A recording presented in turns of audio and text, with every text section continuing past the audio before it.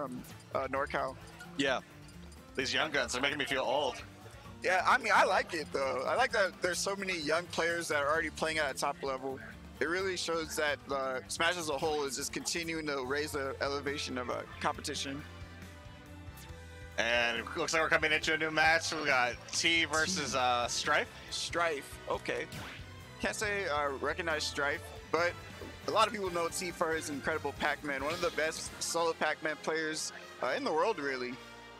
So uh, I hope this guy knows the Pac-Man matchup because if he don't, this guy's going to have a really good time. He's got a Mario, so that's a good first step so far. Uh, trampoline's to be coming up. Game one, Tea versus Strife here at 2GG Prime Saga. And they're opening up on Battlefield. You know, uh, seems pretty solid. Oh, maybe a button check? Oh, yeah, Either the most advanced check. neutral I've ever seen in my life. Funny thing is with Pac-Man sometimes is he hardly approaches. it might be. it could be a match. Yeah, Tea exercising great patience in this button check. Just holding it down, you know.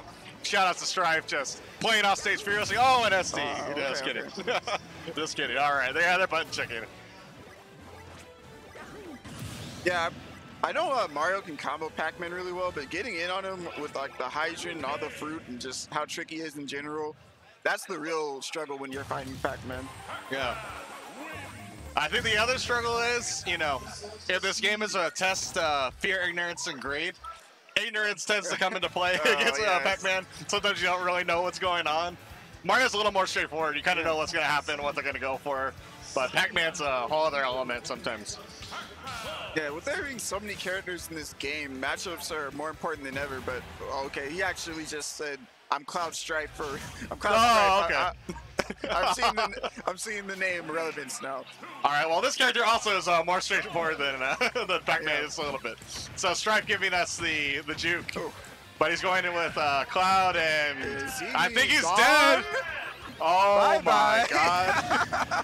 oh my god, Tea. So let me tell you about that new forward air from Pac-Man. With the less uh, landing lag on that move, he can use it to just carry you off stage. And your character like Cloud with no limit or double jump, that's one of the easiest ways to get to stock.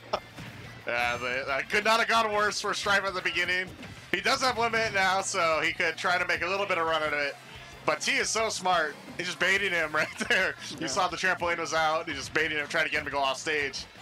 Oh, these uh, Z drop setups, I love it. But like, honestly, even without the setups, he's just playing really well in neutral without relying on his projectiles that much. Yeah, he's going in, carrying him out for the fair, and just doing damage, and he's already got, he's lapped him in percentage on the second stock, and has oh. off stage, almost got the key. Yeah, he hit him out of his jump to set that up, but wow, the raw hydrant itself is going to take the stock. Tea, man, really strong start right now. Yeah, he kind of looks, it kind of looks like Strife's a little uncomfortable for sure. kind of what we expected, oh. though. Not, you know, that player that is comfortable in the Pac-Man match is they know something about the universe that we don't, yeah. for sure. Yeah, Pac-Man is such a wacky character in general, and then you're going up against one of the best Pac-Mans in the world. That's hmm. uh, by the time you figure out one of his tricks, he already has like five more ready for you. And Pac-Man as a character really just kind of defies conventional Smash wisdom. You always want to like try to juggle your opponents, but you got to be conscious of Hydrant coming down. Yeah, have, you know, he just floats around off stage, no problem. It is always just a riddle. Knight's gonna hang behind the Hydra here, gets the key in place. Another tech chase with the fruit as well. Tea, man, he's so good at being patient with his aerials. Like he'll jump in their face, see if you do a defensive option, then he'll swing. Yeah, he's oh, trying to get that back here, trying to prevent a three stock, but Tea holding on. Oh, good limit, no oh, tech. Oh, not gonna be able to tech that one. That probably wasn't a untechable there with how much yeah. percent he was at. Yeah, saw the oh. red flash definitely. And speaking of no teching, yeah, there's no escaping that move. Wow. Immediately comes back from the respawn platform. They'll end up forward smash the JV2 stock. Tea looking just as strong as you would expect. Yeah. And Strife, the unfortunate victim of that onslaught. And it wasn't like the traditional Pac-Man onslaught. You could kind of wait for Pac-Man to hang back and throw stuff. Tea just went in from the yeah, go. exactly. that's just the thing that uh, Pac-Man's able to go for a lot more in this game, just because arrows are so much uh, faster and have less Yeah. like you can safely just go in and pressure you, not just necessarily force you to approach with uh, projectiles all the time. All right, so we got a character switch from Strife, um, and it's Chrom. You know, same archetype of character as Cloud, but a little nuanced differences. I wonder what kind of uh, changes he's, ex- he's expecting to come, you know, from this character switch. Doing better so far. Actually, has a little bit of a lead. Yeah, good stuff with the side B.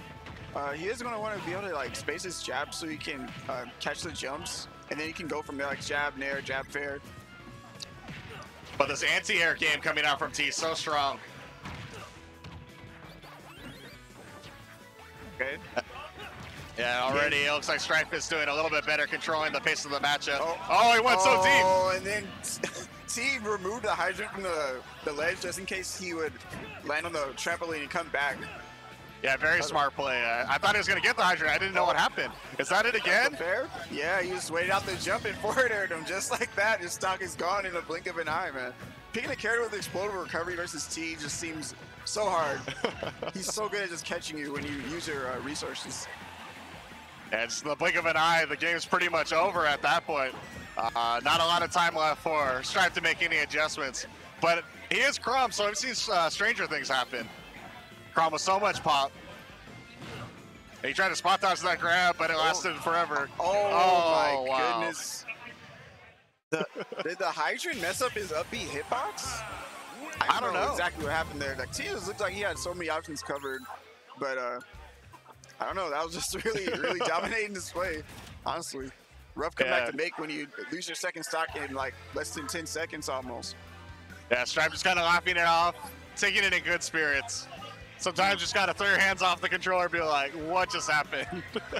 Yeah, honestly, uh, I would take it as a learning experience because you kind of got the best person you can get if you want to get better at the Pac-Man matchup or not sure what to do. He's literally like one of the best Pac-Mans in general.